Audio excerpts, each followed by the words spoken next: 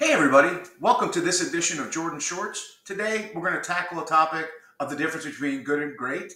And I love to do this on a Friday because it fits really well.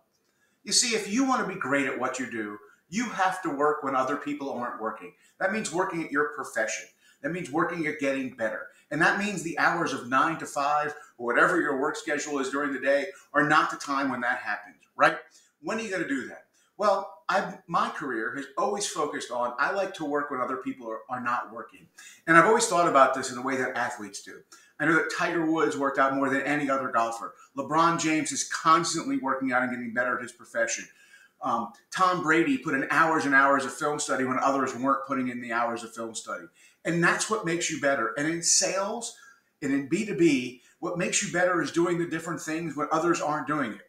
So if you're spending your time nine to five updating your pipeline, filling out your CRM records, doing your research, all of these activities everyone else is doing during that time frame. But what are you doing after hours?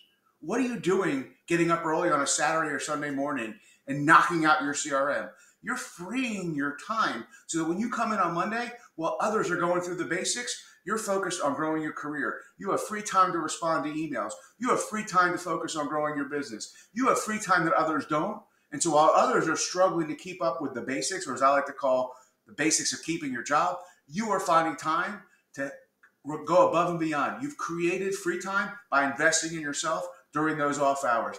So if you want to be great, what it takes from you is simply an investment of your time when others aren't working. I hope you enjoyed this video and look forward to seeing you next Jordan's Shorts.